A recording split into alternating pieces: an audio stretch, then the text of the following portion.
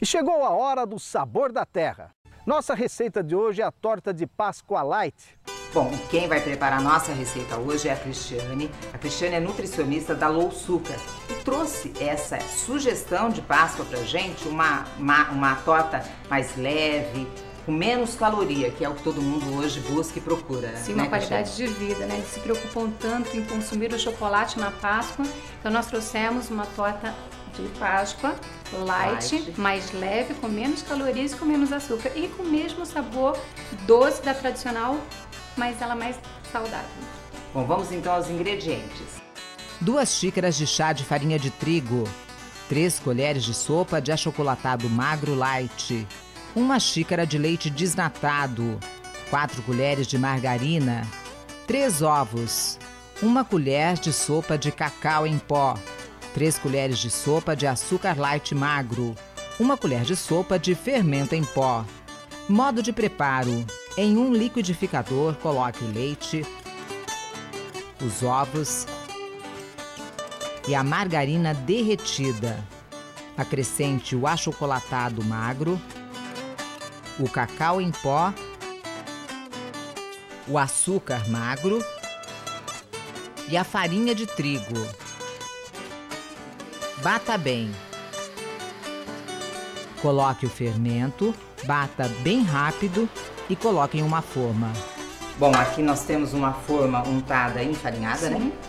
E é a primeira etapa da nossa receita, gente. A massa tá pronta, nós vamos levar ela no forno. Quanto tempo, hein, Cristiane, pra assar? Mais ou menos uns 40, 40 minutos no forno. 40 minutos.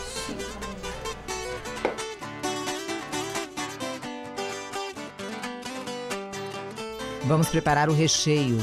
Em uma panela, coloque 400 ml de leite desnatado, 3 colheres de achocolatado magro light, 2 colheres de açúcar light magro, 3 colheres de amido de milho, 1 colher de cacau em pó. Leve tudo ao fogo para engrossar e acrescente meia embalagem de creme de leite light. Desenforme o bolo, corte ao meio e umedeça ele com meia xícara de leite desnatado e uma colher de açúcar light magro. Coloque o recheio, distribua bem. Coloque a outra parte do bolo, regue com leite novamente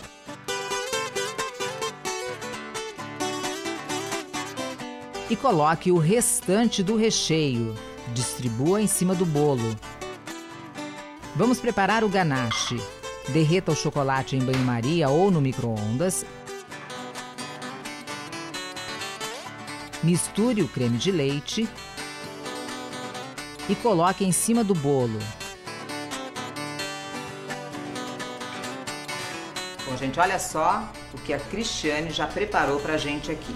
Essa é uma sugestão de Páscoa. Esse aqui é o que a gente montou agora, né, Cristiane? Você vai colocar o, a raspa? Vou decorar com raspas de chocolate. Esse aqui, ó, já tá gelado na geladeira. É importante, depois que você preparou o, o bolo, sua torta, colocar na geladeira para servir ele mais firminho, geladinho.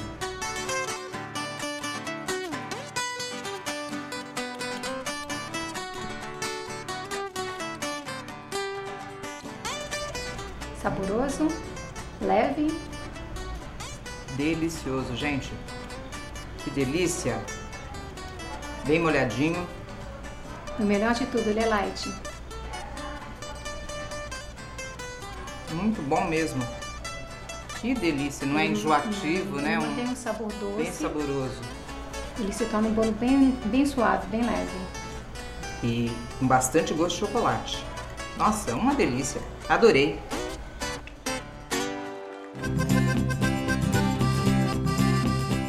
Sabor da Terra.